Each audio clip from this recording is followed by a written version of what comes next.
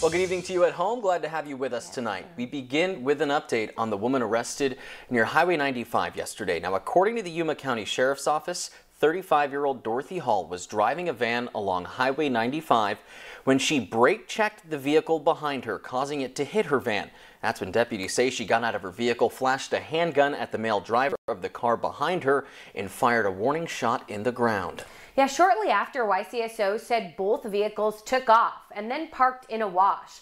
Hall and her passenger, along with the driver she hit, took off on foot as multiple law enforcement agencies responded to the reports of shots fired. Deputies were able to track down all three of them.